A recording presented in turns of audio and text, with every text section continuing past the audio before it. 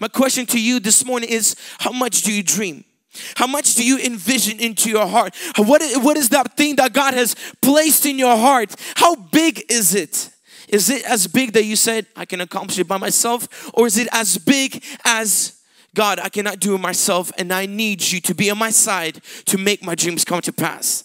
I just want to just give just a few points this morning uh, that, that we can that we can take and learn from of how to to be able to have the dreams that God has placed inside of our hearts to have them come to pass. Not just to be daydreams, not just to be something that we that we vision, but it's something that comes to pass. Amen. If we aim at impossible, we'll be able to reach our maximum. If we reach for maximum, we'll be able to reach our minimum. If we reach and aim for minimum, we will never get nothing. We'll accomplish nothing.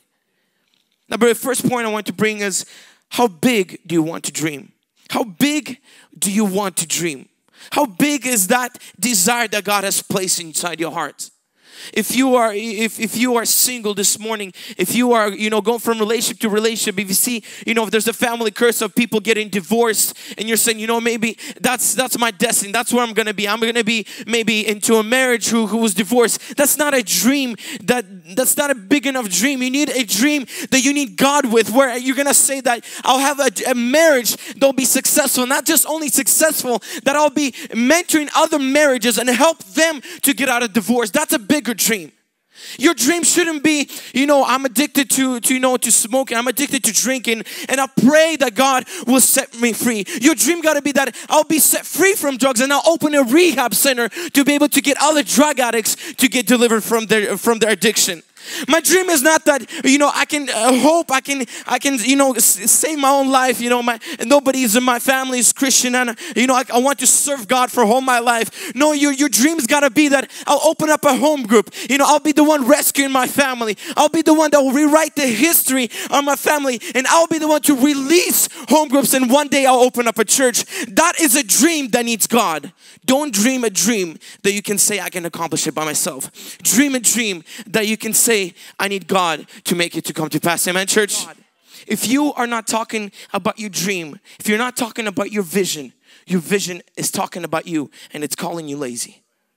If you are not talking about your dream of your vision every day, your vision is talking about you and it's calling you lazy.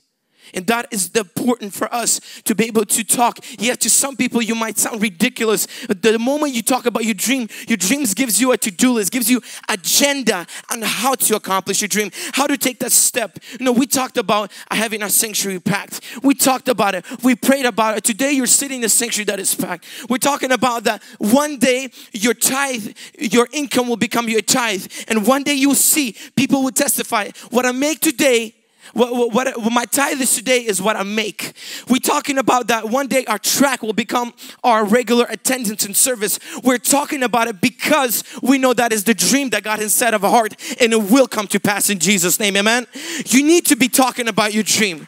You need to be talking about it. One day I'll open a home group. One day I'll release people. One day I'll lay hands on the sick and they will be healed from cancer. They will be delivered from the from addiction. They will be delivered from the hands of the enemy. You got to be talking about your dream in, so you don't have your dream talking about you. Amen, church?